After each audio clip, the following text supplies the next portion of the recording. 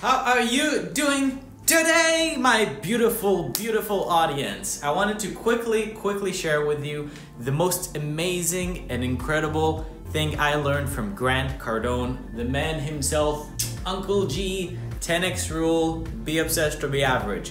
What is the number one thing I learned from him? Something that I do every single day out of thousands of things that I learned from Grant Cardone. Simple. Every morning I sit down and I write down my goals and my targets for the day. That's it. That's the simplest thing, but I do it every day. This is the most important thing I've ever learned from anyone. Why?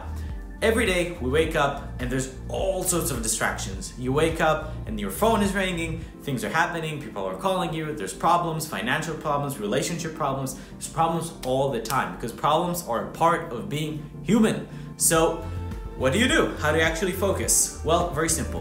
What I do is I wake up, I go to the gym, work out first thing in the morning, go to the sauna, enjoy it, feel really good, get out, go to my house, sit down, write down my goals. What do I want to accomplish in life?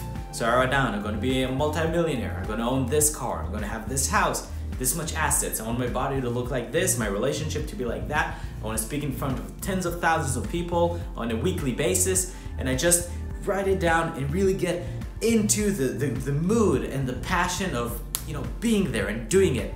Once I do that, I start writing down my targets for the day because these are, are big goals. They're, they're not something I'm going to accomplish today or maybe even next year. So I write down targets, things that I'm going to do today that will move me towards my goals. And I write it down in Hebrew, even though I like to speak in English.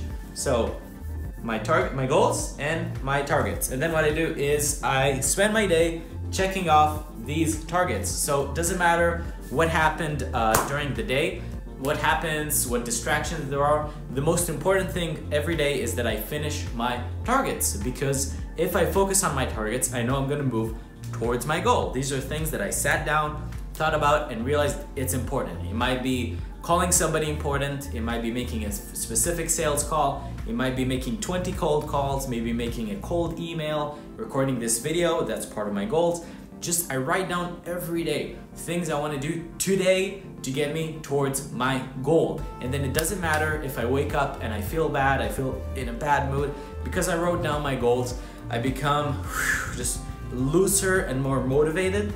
And then by writing down my targets, it doesn't matter how I feel because I actually have things to accomplish today and I'm not basically run by the meetings of the day or the various interruptions and things that happen, especially when you're on social media and you get big and you get things done all the time.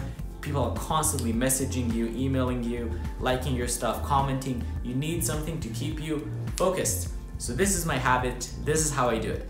If you like this shit, subscribe. You get much, much more content. Finally got a tripod, so videos quality is up through the roof. Hope you enjoyed it. Let me know if you have any questions, and I'll see you soon.